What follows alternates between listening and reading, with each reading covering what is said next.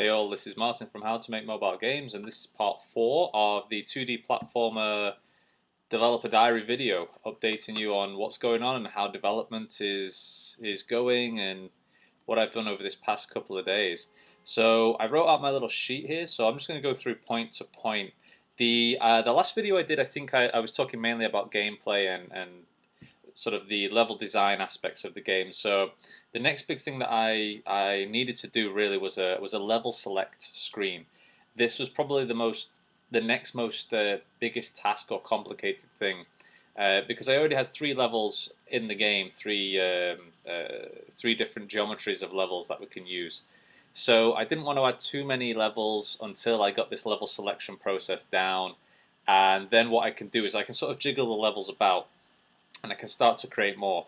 So I wanted to do that before, uh, but I wanted to get this level selection screen done before I started creating more levels and more level geometry because later if I change the level select screen then uh, it could affect all of that work that I had done uh, building the levels. But I think I've got a good um, sort of good pattern or good flow down now so I can start to do more levels after this.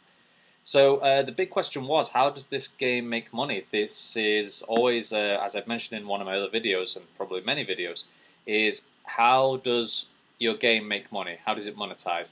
You know, we, as game developers, uh, a lot of the time we, we fall into the a trap of, I don't care about the game making money, I just want it to be fun and awesome great place to come from. But as I mentioned before as well, is if you're building a business, you've got to think about how your game is going to make money and understand uh, the best ways to to keep users happy, and obviously at the same time allow this this game to grow into something that can support your business like financially as well.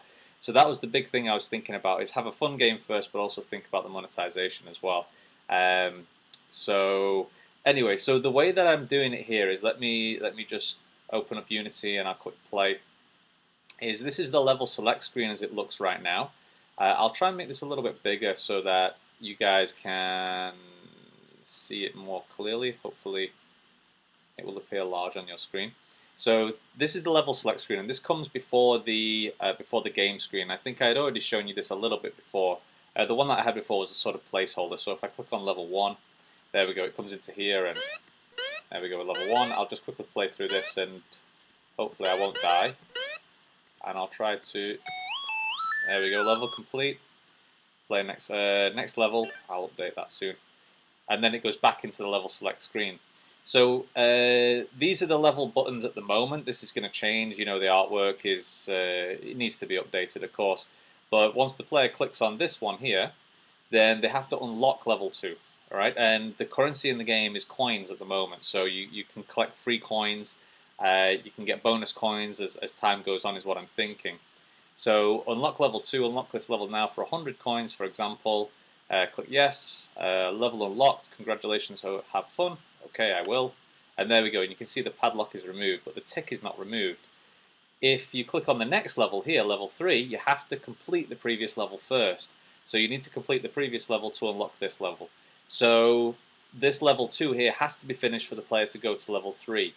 Now, one of the problems is that if you, in this game, because it's quite hard and we want it to be more open to a general audience, uh, not, not just hardcore players, is that I'm going to have a, uh, a button in the game that allows you to instantly finish the level, instantly be completed for, you know, X amount of coins, whatever that may be. So that's really where the currency comes from, and players can get free coins in the game by doing, say, a Facebook post or by Tapjoy or something like this. So players don't have to pay if they don't want to. There are free ways to get this. So, um, uh, but the question is really like, why, uh, why didn't I just go for unlocking levels, um, say, at, at, at any point? Okay, so for example, like if I could, I could just go down here and uh, I could go to like level six and then I can just unlock that, or I could go to level 4 and I can just unlock, unlock that. The reason is that I wanted um, a, a journey, really, is I wanted a path, you know, to the player. I think when it's like, oh, level 1, level 2, I, I've reached level 5, I've reached level 10, it's much more engaging for the player uh, as opposed to sort of just random like puzzles all over the place. Uh, and I think that's the pattern in most of most of games as well, and especially with our uh, Pop the Fruit game that we published on Amazon that's doing pretty well, and that's that has the same sort of pattern as well.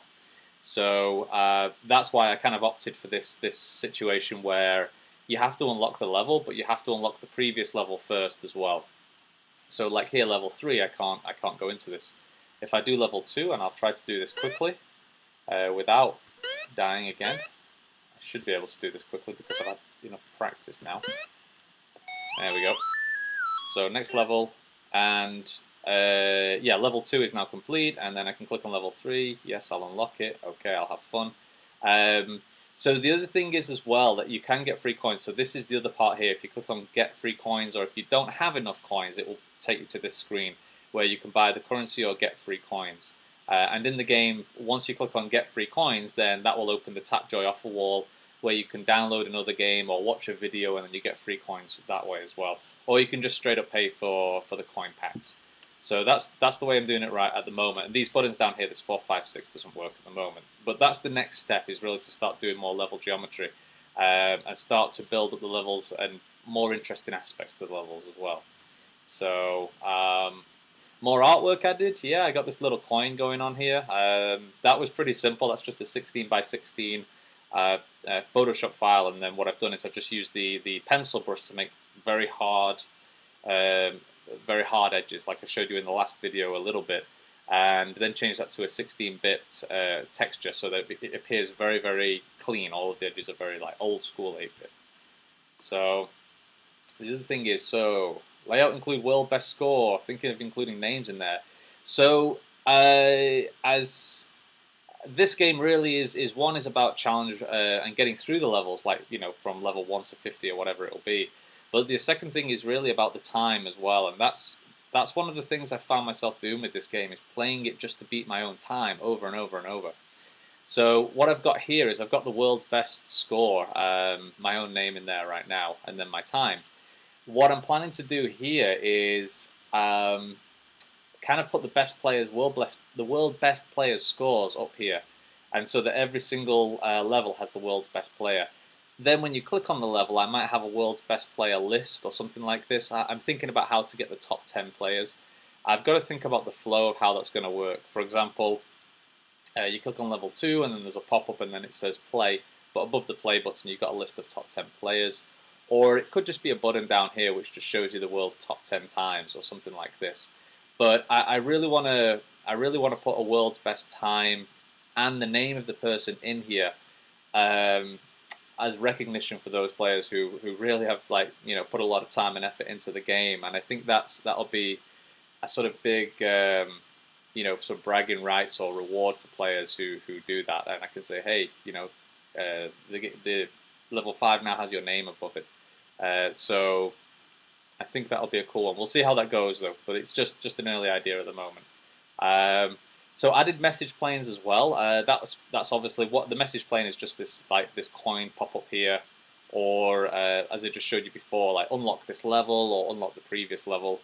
So the um, like this one here, get more coins. And this is pretty simple. I'll just quickly show you the geometry. Um, for those of you who are using Unity or perhaps other game developers, might find this pretty useful. So I'll just get rid of this uh, get more coins plane deactivate that. I'm just going to go, let's say, the level unlock message, just quickly activate this one.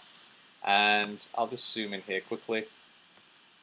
And all you can see is this is just this is just a plane with some geometry on it at the side to get these these white borders, and uh, then the button at the bottom. So whenever a user taps on this OK I will, it calls this. It's called in this script here, the uh, 2D platformer main game script and then all of the uh, the button taps are handled here inside of update. So whenever a user taps on, say, uh, cancel unlock, uh, cancel unlock level text, that's if they don't want to unlock the level and they click the cancel button, then it'll go uh, unlock message plane, set active recursively false, which just basically deactivates it and just, just closes it down. And then whenever someone taps on it again, it will pop up. So it's pretty easy to do that also in the scripts right now, what we've got, uh, let me know if you're interested in how this flow kind of works, because I, I don't want to like explain it right now in this video. Um, my, my head needs to be a little bit more awake to do this uh, fluently. But if you're interested in how this works uh, in more detail, let me know uh, in the comments. Basically, what it does is it checks if the previous level was unlocked already, or uh, sorry, it checks if uh, if you tap in on level two, then it'll check if one is level one completed, yes or no. If it's not completed, then it'll pop up and say, "Hey, you need to complete level this first, this previous level first. And then if it's already completed and this level two is not unlocked, then it'll show the pop-up saying, "Hey, you've not unlocked this level. Do you want to unlock this level for X amount of coins?" So that's basically what this script does right here.